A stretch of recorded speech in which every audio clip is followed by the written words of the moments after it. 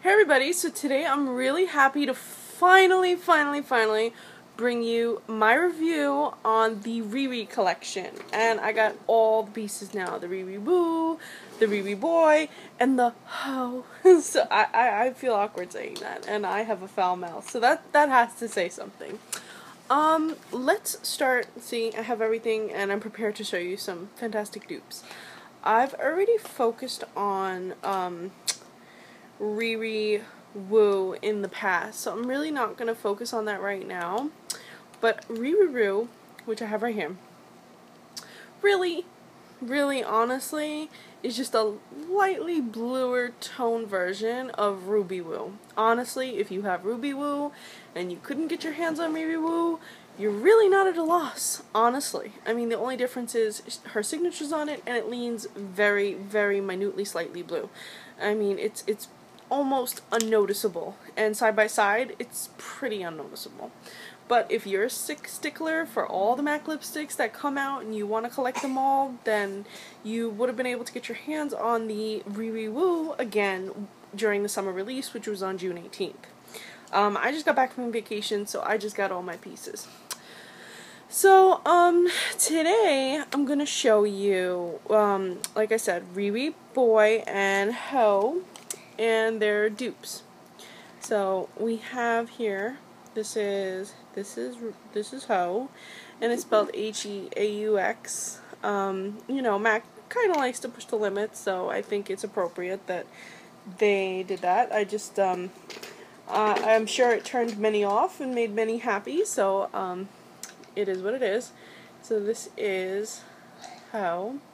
It is a retro matte formula, meaning that it is more matte and more dry than the regular matte formula. So if you don't like the regular matte formula, you might not like this, but you can always soften up with a little bit of a, God bless you, with a little bit of a um, moisturizing base or prep and prime or even just chapstick. Honestly, will help the lips retain the moisture underneath the product. Now, if you were not able to get your hands on Ho, because I know that that little instinct online queue is just a bitch, honestly. God bless you is just terrible, terrible, terrible, terrible system. Literally, I had like five different devices waiting for them to hit. It's crazy. It's it's not right. So if you weren't able to get your hands on Ho, a comparable product is Rebel. Now, when swatched side by side, you can see that Rebel, I mean in the tube, Rebel looks remarkably darker. But swatched on the hand or even on the lip, Rebel is just slightly purpler more, I guess, blue, more that blue purple than Ho is, but they're very similar on the lips. They're both that berry color. So the tube's a little bit deceiving. And this does have her signature on it, the Riri, the Ho, the Riri Ho. So I'm going to do a quick hand swatch to show you. So that's Rebel, and that is a satin finish. So if you like, if you like the shade Ho, but you wished it was a little more moisturizing, you can always pick up Rebel because it's it's very similar. And then this is the How. So as you can see, they're very similar, but Rebel leans a little more purple, and you can see this kind of dragged, a little dry on the skin. But when they're on the lips, like I prefer the matte version, matte versions of MAC lipsticks because they are so kind of like velvety. I like that dryness. They last longer on the lips, and I personally like them. I would just suggest that you apply slowly to avoid tugging and apply moisturizer underneath to avoid that drying sensation that you may or may not feel depending on your lip type. Um, if you did pick up Rebel and you'd like to have the long staying power of the Retro Matte, you can always apply a lip liner underneath. And when you apply Rebel, it will stay longer on top of a similar color lip liner. Um, I'm still looking into which lip liner I would like to suggest, so I'm not going to make a permanent suggestion now, but I've used Night Moth and liked it. But it does darken it. So um, I'll find a, a comparable product and I'll let you know. So again that's that and you can see that Rebel is shiny whereas it has a little bit shiny finish semi matte finish whereas Ho is remarkably darker now here's where it gets fun. Now here I have um, Riri no wait hold on. I picked it the wrong two. Um, here we go. I have Riri Boy and Up the Amp. Now I've been seeing people buzz about this on Instagram and on blogs that these two colors are the exact same shade, and I have to tell you, they really, really are. Um, Boy pretty much is just the matte or retro matte version of Up the Amp, and I actually prefer it a lot better. Now, if you were unable to get your hands on Riri Boy and you can't afford Up the Amp, Revlon does have a product called Berry Haut, H-A-U-T. I think there's an E at the end. I'm not sure. And um, it is the same color exactly as Up the Amp, but its staying power is completely different. Like it's the same color, same exact shade, but when you apply it, you have to reapply it, I would say, every two hours, whereas up the amp, you'll get four or five hours, depending on what you're doing. I've gotten six hours if I was just lightly drinking coffee and not not really eating any, you know, messy foods. So, um, Riri Boy, you're going to get that even longer wear. Like, if you're just lightly drinking, or even just lightly eating, you can get upwards of eight hours of wear without having to reapply the Riri Boy. If you're eating and other things with uh, Riri Boy, you may have to reapply every five, six hours, but still, six to eight hours is a fantastic wearing time. It will make you, it allows your lipstick to last so much longer than if you're applying every, you know, two hours. So, let's get to swatches. So, this is Up the Amp. As you can see, I wear mine a lot. And then, this is Riri Boy. As you can see, they're pretty the same. Now I'm going to swatch them on the hand. So on top, I mean on the bottom, I'm going to have, that's the amplified up the amp. And this is the retro matte Riri, Boy. Now as you can see they're the same color except for this one kind of dragged at the skin and is a little patchy whereas this glides on very smoothly. You know what would be really good and I suggest this and I tried it and I actually really liked how it looked is to apply the Riri color underneath. So say for example you want to apply um, Ho, apply Rebel over it or even Rebel Gloss, you know, to get that really long lasting look. Um, yeah, so if you wanted to use um, use Ho and apply Rebel Gloss, that looks nice, or apply Rebel over or under Ho to have a moisturizing or a glossy look to it, and it makes it last longer because you have that base underneath or the top.